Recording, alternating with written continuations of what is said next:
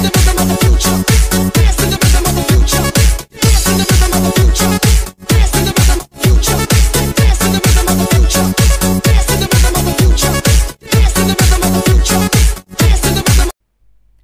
Hai semua, jumpa lagi dengan saya Yesi Fans dan tentunya hanya di channel Li Hongyi Yolusi.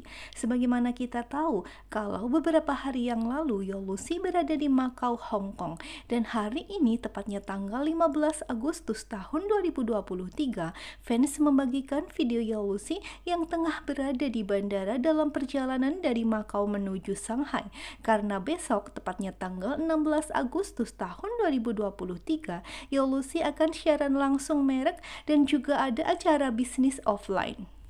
这样的心照不宣，不用担心暴露胆怯。就算没烟火漫天，但谁都沉浸在这秒浪漫喜悦。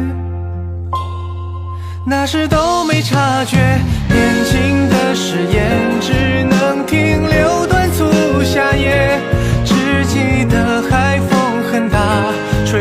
双眼。